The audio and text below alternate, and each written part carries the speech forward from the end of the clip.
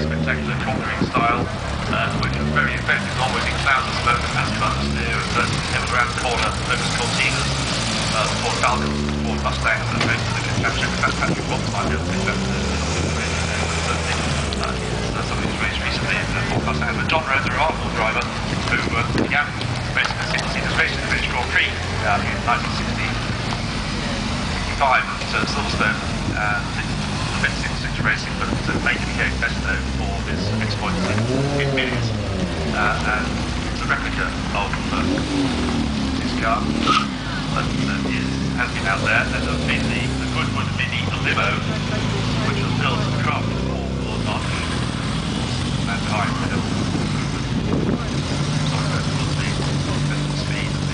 The the event. And amazing.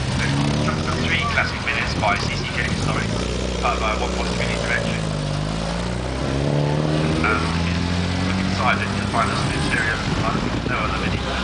So that's the thread they've now away, but you get more details by going and having a look at them.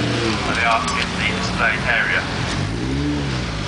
And we've got more racing to come, so let's uh, think about heading away just yet. Uh, we've still got the third of our weekend of, of uh, mini charge races, not mini That seven it? races. The second one of them, that's first race.